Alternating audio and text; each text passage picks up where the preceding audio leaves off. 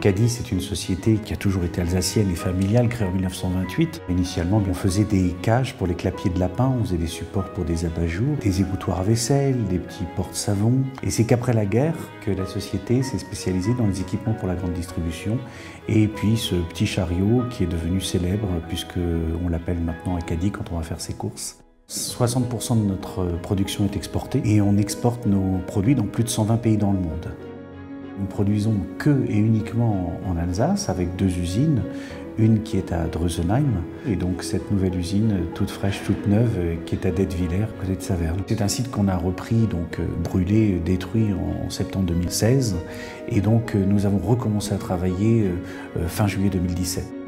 Moi, je cherchais euh, justement un site euh, avec une connaissance et des compétences en traitement de surface. Et donc, j'ai pris l'engagement auprès du vendeur de garder et de conserver 85 emplois. On a eu la chance de pouvoir intégrer ces personnes dans notre famille Caddy et ils ont pu se former à Drusenheim, apprendre notre métier et je pense qu'ils sont actuellement très heureux de faire partie de la famille Caddy et moi je suis très fier et très heureux de dire que j'ai vraiment du mal à reconnaître dans l'atelier ceux qui viennent d'Electropolis ou pas. Pour le futur, nous allons bien sûr continuer à augmenter nos parts de marché euh, en Europe et partout dans le monde. Et on se demande même si euh, un jour on ne ramènera pas euh, l'usine de Drusenheim à Detwiller pour qu'on soit tous ensemble.